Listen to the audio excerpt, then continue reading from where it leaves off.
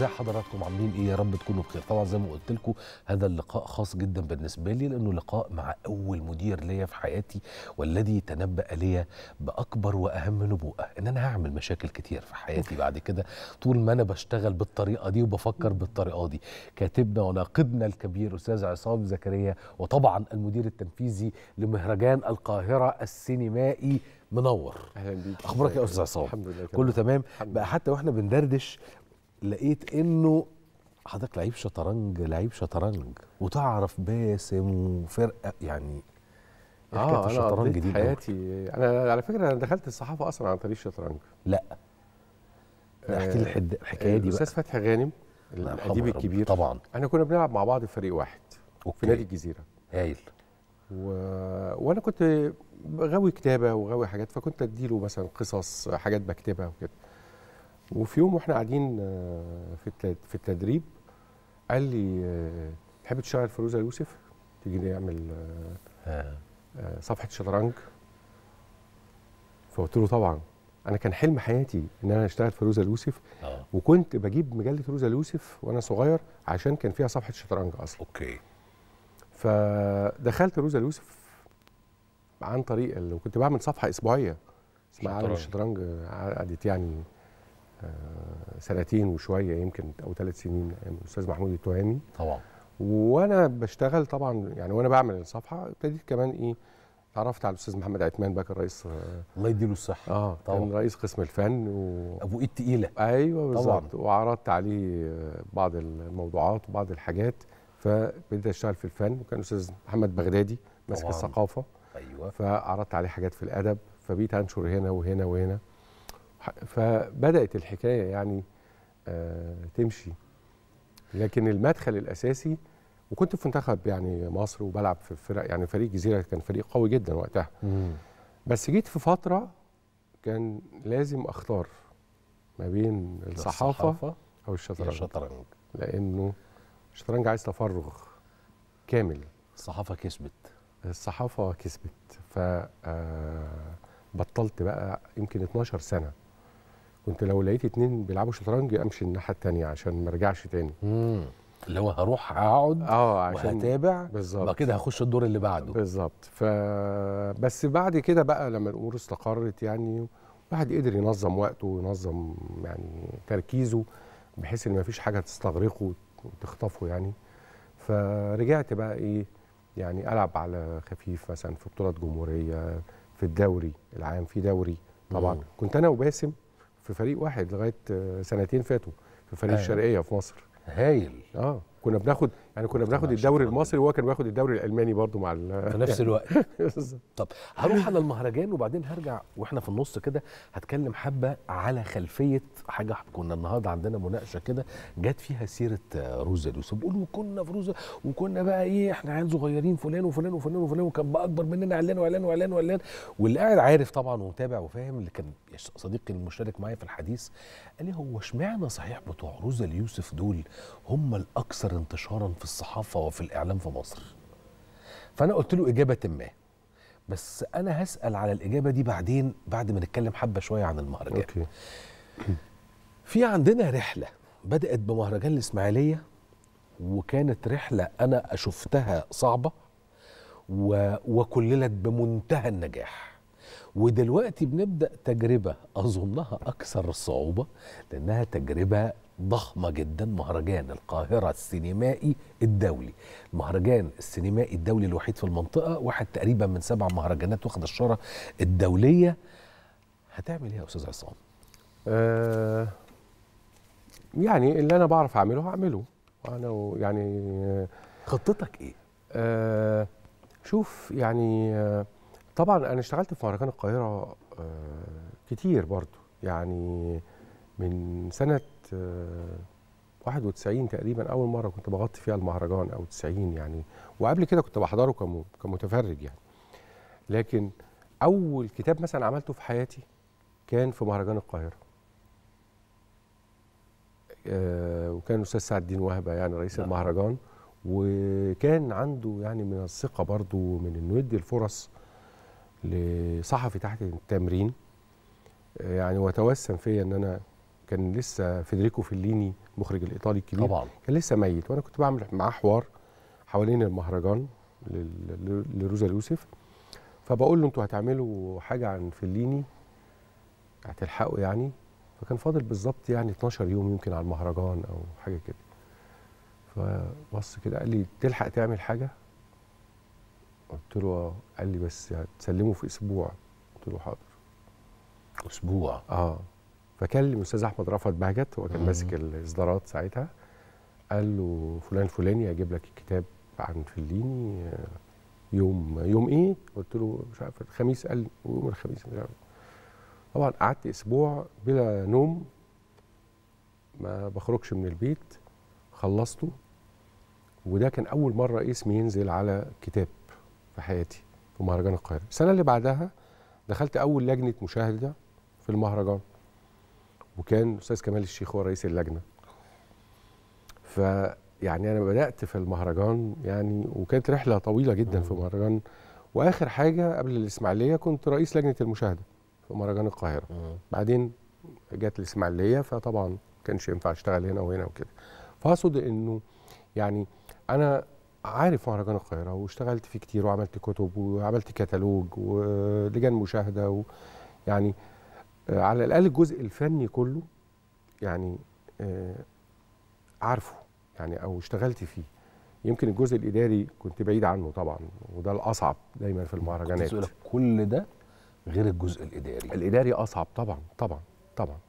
آه لكن كل ال- الحاجات اللي الواحد يعني أو الملاحظات والخبرات اللي الواحد يعني آه، اكتسبها سواء من الشغل أو من من من حضور المهرجانات حتى في مصر وفي العالم العربي وفي العالم آه توصلت كده لأنه هو في حاجة مهمة جدا هي اللي بتعمل نجاح المهرجان أو عدم نجاحه مم. وهي التنظيم الجيد مم. ممكن الناس بتتكلم على النجوم على الأفلام اللي هتجيبها على البرامج. كل دي حاجات مهمة بس سهلة. يعني شغلنا. إحنا عارفين الأفلام وعارفين الناس و... وعارفين نوجه دعوات وبنبعت للناس وامتى و- وإزاي آه. وكل الكلام ده. اللي- لكن أهم حاجة هي مسألة التنظيم. لأنه ال- المهرجان ده عامل زي ما يكون أخطبوط عنده 20 دراع وأنت. بتشغل ال 20 دراع دول في نفس الوقت.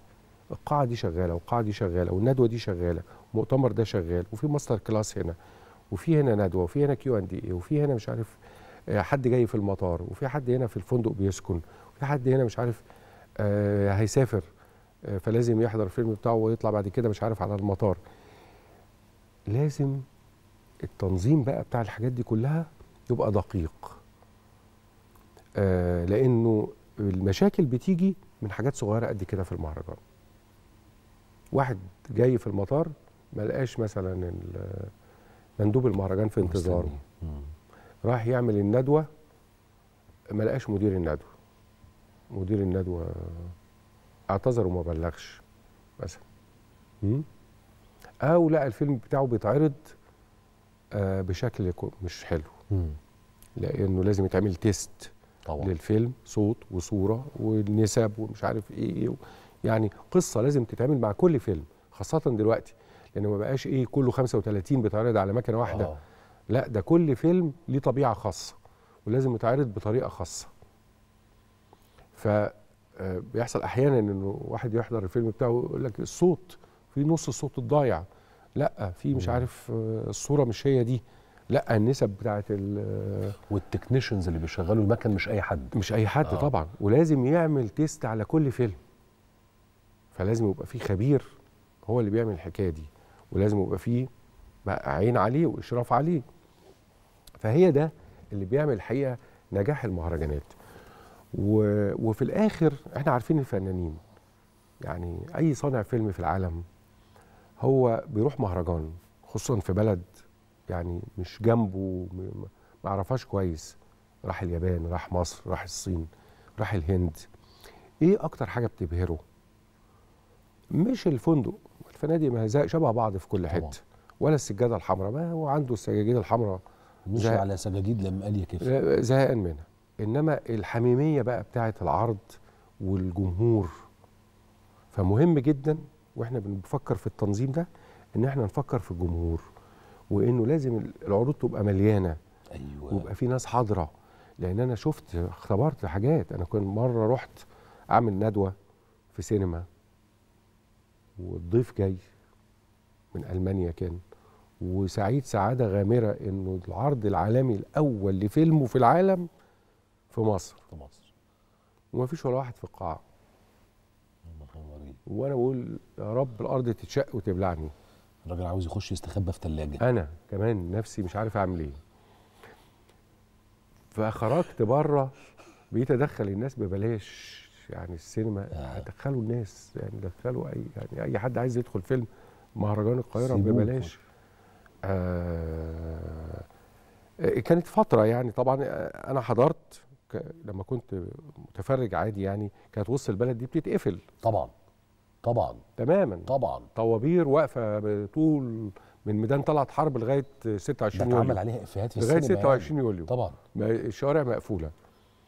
طبعا بعد كده حصل يعني إنه الجمهور ما بقاش مهتم قوي بعروض المهرجان وحصل طبعا تحول يعني كبير جدا في في المسألة دي لغاية ما دلوقتي بقى عندنا جمهور سينمائي بجد. يعني عندنا شباب دلوقتي بيشوفوا أفلام متابعين السينما العالمية بيشوفوا أفلام من كل أنحاء العالم عندهم ثقافة سينمائية بيعرفوا لغات. فرجعنا دلوقتي نستعيد المسألة دي وبقى عندنا جمهور محتمل يعني كبير جدا مم. لأفلام المهرجانات. يملى القاعات يملى القاعات بس لازم نوصل له. حلو. دي بقى نقطة مهمة جدا إن إحنا نوصل لهذا الجمهور. ما دي مهمة صعبة وإن إحنا بالظبط. ننظم مسألة إنه القاعة تبقى مليانة لإنه في ناس بتحجز وما بتجيش. فأنت مم. تروح تقف في الطابور يقول لك مفيش تذاكر. تخش القاعة تلاقي أكتر من نصها فاضي. آه. ما فيش حاجة اسمها كده. مفيش حاجة اسمها. أنا حضرت مهرجانات بره في حاجة اسمها طابور standby أي لو كرسي واحد فاضي هتلاقي واحد تعال. يطلع يجيبه يقول لك في طبعا. ويتنج ليست بيطلع آه. يقول له يعني إيه؟ سبعة. في سبع كراسي فاضية. يروح مدخل سبعة. آه. عشان ولا كرسي يبقى فاضي. فإحنا إن شاء الله نحاول إن إحنا نستفيد من ال- ال- الحاجات دي. اللي شفناها في حتت وفي مهرجانات وفي إنه لازم يبقى لأن إحنا جايبين الأفلام ودافعين فلوس ودافعين طيران ودافعين إقامة عشان إيه؟ في الآخر عشان الناس تتفرج على هذه صح. الأفلام. آه بعد كده بقى طبعا اهتمام بالجودة الفنية وبالبرامج ويعني إن شاء الله يعني نحاول إن إحنا يبقى في مجموعة أفلام وفي مجموعة ضيوف مميزين جدا إن شاء الله هنجيب الجمهور ده إزاي يعني قلت لي في عدد كبير المهم إن إحنا نعرف نجيبه موجودين الجمهور موجودين. إزاي بقى؟ يعني إزاي مثلا؟ هقول لك يعني النهارده مثلا بس كنا في اجتماع آه أنا والأستاذ حسين مع آه الجامعة البريطانية في كويس. مصر. عندهم آه آلاف من الشباب وعندهم قسم إعلام وسينما. هم كمان عاملين مهرجان للفيلم القصير دولي جوه الجامعة. كويس كويس. فاتفقنا إن إحنا نبتدي نتعاون معاهم. نساعدهم في المهرجان بتاعهم. آه، آه، نختار مجموعة من الفالنتيرز المتطوعين يجوا يشتغلوا معانا. آه، نعمل عروض هناك أو ندعو الطلبة إن هم يجوا يتفرجوا على ال- المهرجان. المهرجان. وهكذا هعمل كده في كل الجامعات. هايل آه، مسألة مشاكل التذاكر والحاجات دي نحاول إن إحنا نحلها. يعني بحيث إنه إن شاء الله هرجع عروض الصحفيين تاني. حلو. عشان ما يحصلش التضارب بتاع إنه في كوتا للكارنيهات وفي كوتا للجمهور اللي بفلوس. لا نخلي عروض الصحفيين زي في كل المهرجانات الكبيرة هي كده. okay. الناس الصحافة والنقاد ليهم عروضهم الخاصة بيهم. مم. آه فنركز بقى في العروض التانية إن إحنا نملاها بالجمهور آه إذا استدعى الأمر إن إحنا نرخص تذاكر نرخصها. إذا استدعى الأمر إن إحنا نبيع تذاكر مجمعة بأسعار مخفضة. آه. آه يعني هنشوف كل الخطط الممكنة هايل بحيث إنه يبقى يعني أكبر عدد ممكن من الناس موجود آه، في القاعات وأكبر عدد من المستفيدين اللي المهرجان معمول علشانهم. صح. يبقوا بيستفيدوا من هذه الأفلام يستمتعوا بيها بيثقفوا سينمائيا بيحضروا master classes بي آه بيحضروا مناقشات مع صناع الأفلام كل الحاجات دي. شهادتي غير مجروحة بس كمان دون انحياز الكلام ده منطقي. فالكلام ده ينجح جدا قوي خالص ويخلي انه النسخة اللي جاية أو الدورة القادمة دي طالعة طعم مختلف وبمنتهى النجاح. آخر حاجة هسأل عليها بقى. هو ليه روزا اليوسف؟ علشان صديقي اللي سألني النهارده قال لي اشمعنى روزا يعني؟ لأن إحنا رحنا شفنا يعني آه عمالقة. آه. هي بدأت كده المجلة بدأت كده. وهي كمان آه، المدرسة بتاعت روزا اليوسف لما تسمع حكايات آه، الكبار قوي اشتغلوا إزاي. يعني أحمد آه، بهاء الدين. أستاذ أحمد بهاء الدين. اشتغل في روزا اليوسف إزاي؟ كان طالب في كلية حقوق. فعنده مقال آه، كتب مقال كده مش عارف يعمل بيه إيه. فعدى على مبنى روزا اليوسف وسابه في الاستعلامات. بيشتري المجلة الأسبوع اللي بعده لقى المنشط الرئيسي بتاع مم. الغلاف. في في كده في الدنيا؟ ده واحد ما شافوهوش بس اكتشفوا الموهبة بتاعته. الأستاذ فتحي غانم كان بيحكي لي برضه نفس الحكاية. يعني آه، كان برضه طالب وبيكتب فراح لروزا يوسف فقال تعالى اكتب. فقال لي قعدت أشتغل سنة ونص. ما حدش بيقول لي حاجة. وبعدين ندهتني روزا يوسف بعد سنة ونص. قالت لي أنت والله بتشتغل معانا كويس قوي وبتاع وأنا عملت لك مكافأة. وديته 15 جنيه. وده رقم بالمناسبة وقتها. كان رقم وقتها يعني عشان بس الناس ما تستقلش. ده كان. رقم رقم يعني. ف وكل طبعا كان في بقى الأسماء كلها هن- هنعد مين ولا مين؟ صلاح حافظ وصلاح جاهين و آه، فؤاد- حسن فؤاد وكل يوه. كل الناس ال... فجي تلاميذ ليهم. صح. فالتلاميذ دول برضو يعني خدوا منهم ال... آه هي في إيه؟ زي الشعلة كده. بتتسلم. بتتسلم. وفضلت موجودة. صح. فإحنا رحنا اتعلمنا لقينا ناس بتعلمنا. أنا فاكر الأستاذ محمد عثمان كان يقعد يقعدنا كده قدامه ويقعد إيه يعمل ديسك أو اللي هي عاده الكتابة للشغل. فيمليه كان بيملي تمام؟ فأنت قاعد بتسمع الموضوع بيتكتب إزاي مختصر إزاي ويعني إيه إن أنت تشيل أي كلمة ملهاش لازمة. أي كلمة زيادة أي حرف زيادة يقول لك ليه الواو الزيادة دي؟ شيل الواو دي. آه ليه حاطط صفتين؟ شيل س... مكرر الكلمة دي ليه؟ ما تكررهاش. فأنت بتتعلم تكتب آه وبتتعلم آه تفكر تلقط الخبر إزاي؟ آه يعني أنا فاكر آه أنا أنت عارف إحنا اشتغلنا مع بعض أنا كنت ماسك الخارجي. أيوه. فساعات كنت إيه أفتح المجلات الأجنبية. مفيش يعني موضوع مهم قوي بعدين إيه في صفحة كده في الأول بتاعه رسائل القراء. فغالبا بيبقى مركزين على موضوع كده مجمعين رسائل مم. حواليه يعني. حاضر. فلاقي موضوع آه، شيق جدا ورسائل القراء آه، عليه أروح واخده. أستاذ عادل يقول لي مش ممكن طب طلع لي موضوع من رسائل القراء بتاعت. يعني فهي كده ما اتعلمنا كده إن أنت إزاي تلقط إزاي تلقط الحاجة. طبعا. الخبر إزاي. تلقط الحاجات.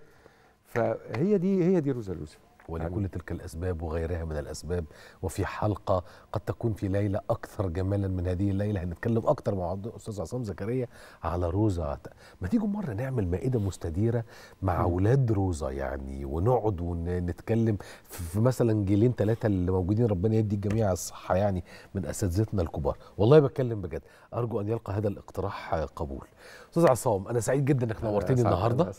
ومش هقول لك بس ألف مبروك على المدير التنفيذي للمهرجان بس هو مبروك كمان للمهرجان قوي جدا خالص يعني الله يخليك حقيقي. بجد وإن شاء الله مهرجان أكبر من أي اسم وإحنا كلنا اتعلمنا في المهرجان يعني هنشوف هنشوف بإذن الله بإذن الله دورة فائقة النجاح بإذن الله. يا رب. دايماً. أشكرك جدا جدا جدا يا فندم. كل الشكر لكاتبنا وناقدنا الكبير أستاذ عصام زكريا مديرا تنفيذيا لمهرجان القاهرة السينمائي. روزا دي حدوتة. بجد لازم يوافقوا لي على الاقتراح بتاع المائدة المستديرة. لجيلين ثلاثة كده من من روزا. يا خبر أبيض أنا هفرح فرحة. خلصت الحلقة لحد كده. ثواني يكون موجود معنا كريم رمزي هناك أهو مش عارف لابس رمادي ولا لبني بس أنا النظر خايني ما أنا بقى يعني أمي قالت لي ما تقولش عندك كام سنة. أنا عندي 39 يلا عشان خاطرك يا ماما ولو كلنا العمر نقابلكم إحنا بقى إن شاء الله بكرة في نفس الميعاد وبرنامجكم التاسعة. سلامات.